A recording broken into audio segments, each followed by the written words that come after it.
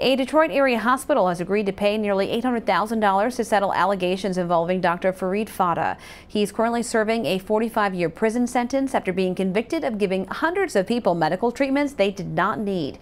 The case against Crittenton Hospital Medical Center will settle allegations it billed for unnecessary lab tests involving Fata.